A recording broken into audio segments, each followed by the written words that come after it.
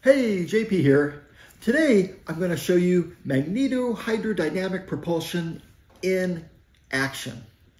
I'm going to slow it down a bit and run it in water so you can actually see it directly. Now, we're developing hybrid plasma rocket engines. These are half electric and half chemical.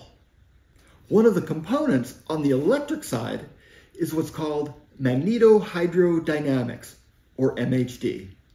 This is one of our test firings.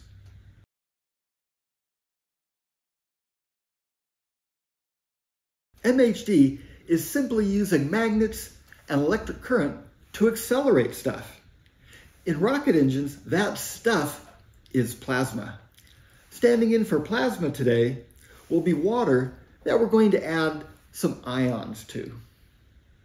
This is not much different than an electric motor. An electric motor, the charged stuff is the electrons moving in the wires. In an MHD unit, the stuff moving is shot out the back. And just like in an electric motor, it can be a generator. If you run it backwards, an MHD system can be used to extract electrical power out of a rocket engine or other plasma source. This is the core unit. The copper bars act as the electrodes where we apply the electric current. They are glued down to a cement plate that we've cast into a 3D printed mold.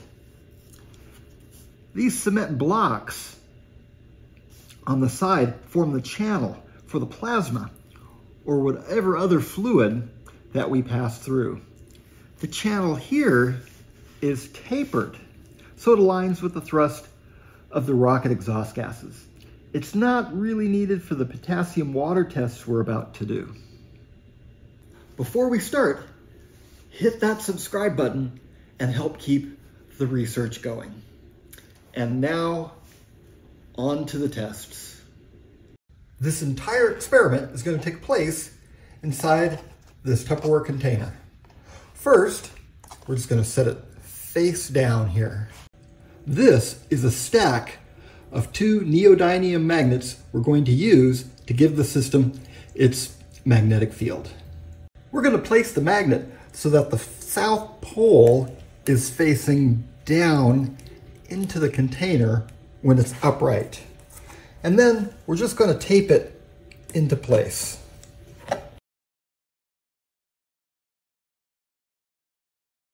Now go the electrodes and the channel.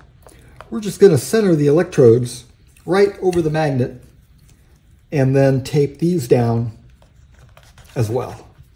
Now we're going to measure the magnetic field strength right at the base of the electrodes. And it looks like we have around 380 little more milliteslas. Now I'm going to add the water. I'm just going to put in enough to cover the electrodes. Water is a poor substitute for plasma, which is just a charged gas or flame. With water, there's nothing for the magnets to grab onto. We're going to start with a 9 volt battery. The battery is taped down so it doesn't get caught by the magnet. Just as a safety note here, clear your test area of metal when working with big magnets. Especially, and I say this from experience, move the scissors away. I'm just going to attach the ground clip and away we go. Now it looks like absolutely nothing is going on. I'm going to add a drop of food coloring so we can see just a little better.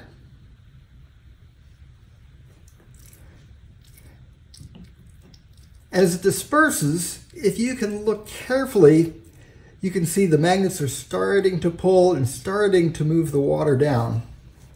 But still, not very impressive. We need to add some ions to the water to give it something for the magnets to grab onto. Then we'll start adding some more power. Now we're going to add salt to the water because salt will ionize really well and give a few charged particles for the magnets to clamp onto. So just give it a little stir here.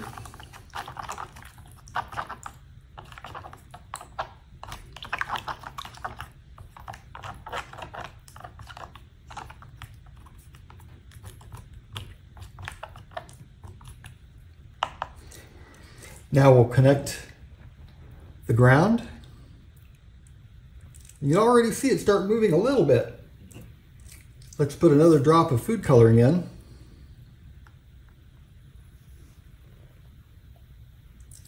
And now you can see that it's really going to town.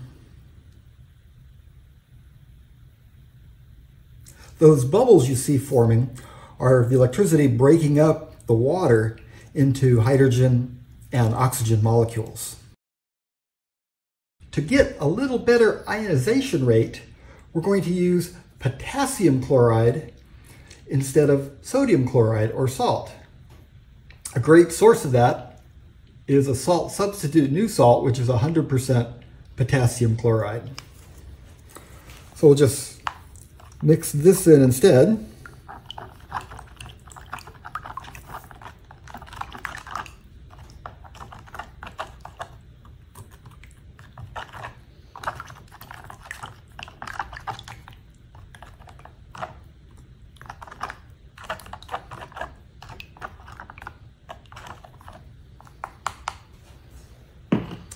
Okay, now we're going to connect the battery. You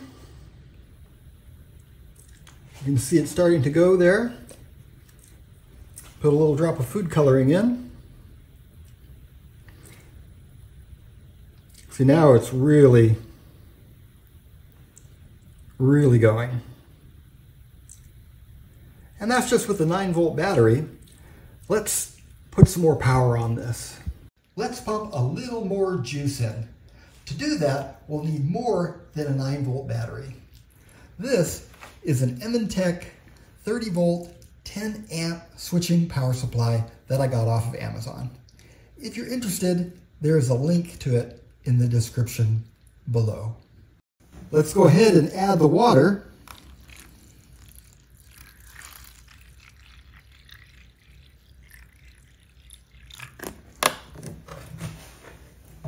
and the potassium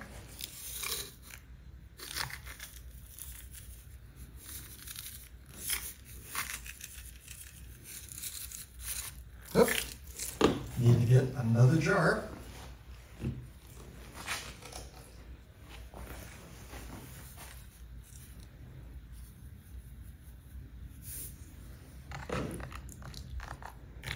Get it good and stir it up here.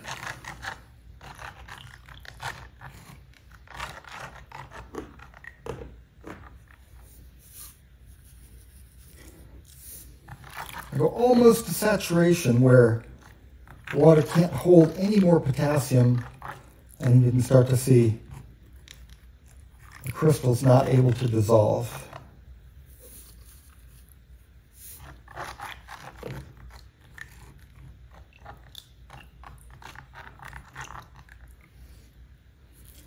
All set.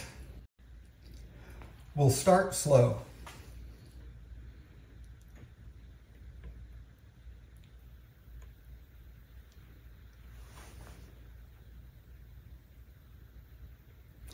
You can just now start to see the bubbles form and it's starting to flow.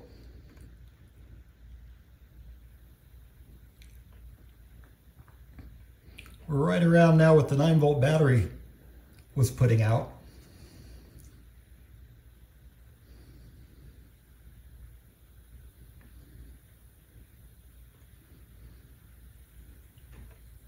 Okay, 20 volts, 3 amps.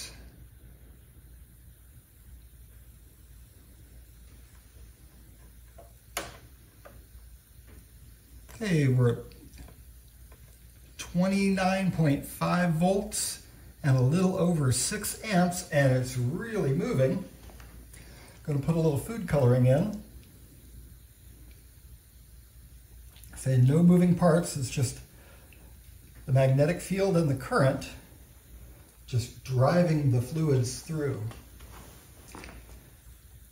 The electrodes are getting corroded like crazy, and that's what everything is turning the water brown.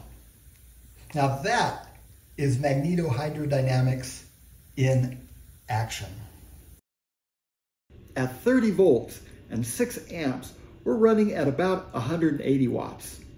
The big engines on our airship will have about 15 megawatts from the onboard solar to feed them. When we're running this on rocket engines, we have an additional magnets on top as well. This almost doubles the magnetic field strength and dramatically increases the flow. Help us keep the research going by subscribing to our YouTube channel. It doesn't cost a thing, and all you have to do is click on the button that looks like this. MHD engines have been in the news a lot, and you may not even know it. You know, when you hear about the nuclear rocket engines to Mars, most of the time, MHD engines are what they're talking about. The nuclear part just generates the electrical power. Folks have been researching and experimenting with MHD systems for over 80 years now. They have put them in boats, spacecraft, and even power plants. Most of what we're doing is not new. We're just trying to get it out of the lab and into the sky. This is JP. Thank you for watching. JP Aerospace, America's other space program.